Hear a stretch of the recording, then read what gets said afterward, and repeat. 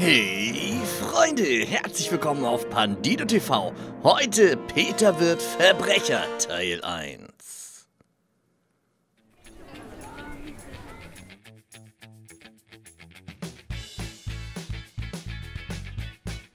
So Kinder, heute bekommt ihr euren Mathe-Test zurück. Ich fange mal hier vorne mit Anastasia an. Und mal wieder eine 1 plus mit Sternchen. Gute Arbeit, Anastasia. Dankeschön. Und Andreas, eine 2. Gut gemacht. Danke.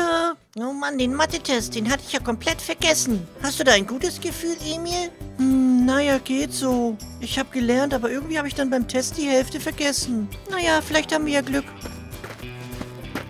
Ah, Peter, du musst wirklich besser lernen. Was, eine 6? So schlecht kann ich doch gar nicht gewesen sein. Tut mir leid, Peter, aber du hast keine einzige Rechnung richtig gelöst. Wenn du irgendwann mal einen guten Schulabschluss oder einen guten Job haben möchtest, dann solltest du definitiv besser im Unterricht aufpassen. Das ist doch doof. Ich werde einfach Verbrecher. Die müssen nicht zur Schule gehen. Die haben immer ganz viel Geld. Und wenn sie keins mehr haben, dann holen sie sich ganz einfach Neues. Na, ich hoffe doch, du bist kein Verbrecher, Peter. Und selbst Verbrecher müssen zur Schule gehen. Ach Quatsch, das sagen sie doch nur, um mir Angst zu machen. Bei Verbrechern ist eine 6 im Test doch bestimmt total egal. Ich bleibe dabei, ich werde Verbrecher. Mir reicht's mit der Schule. Ich gehe da nicht mehr hin. Ich werde jetzt Verbrecher. Ich pack meine Tasche und dann suche ich mir Verbrecherfreunde. Hm, was braucht so ein Gangster alles? Ah, ich weiß. Als Gangster braucht man auf jeden Fall eine Taschenlampe. Das sehe ich immer in den ganzen Filmen. Und ein Walkie-Talkie, damit man sich mit den anderen Gangstern unterhalten kann. Und natürlich ein großer Sack für die Beute. Und ein Fernglas kann auch nicht schaden. So, ich glaube, ich habe alles eingepackt.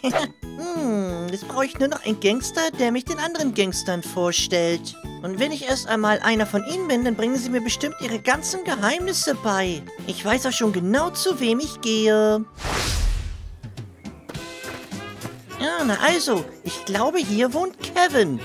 Ich habe ihn zwar ein bisschen geärgert, aber das nimmt er mir hoffentlich nicht mehr übel. Abgesehen davon haben wir uns auch gut verstanden.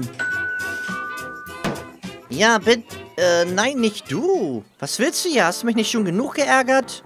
Kevin, du bist lustig. Das war doch alles nur Spaß. Darf man seine Freunde nicht mal besuchen?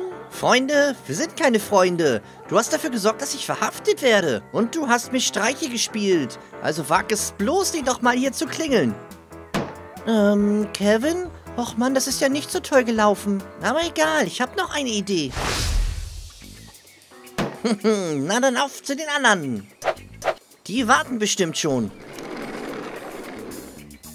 Hm, also, ich wusste doch, er fährt heute noch irgendwo hin. Na dann mal, hinterher.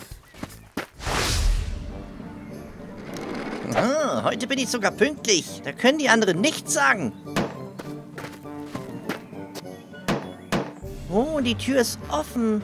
Hm, hier ist bestimmt ein geheimes Gangstertreffen. Na, da bin ich doch dabei. Oh. Hier drin ist das schon ein wenig gruselig. Es ist so dunkel. Und was ist das alles? Wow. So große Kisten. Ist das alles Diebesbeute? Mal nachsehen, ich gehöre ja bald zur Gang. Dann muss ich ja auch wissen, was das alles hier ist. Wow, das sind ja wirklich Goldmünzen. Wow, die sind bestimmt total viel wert und...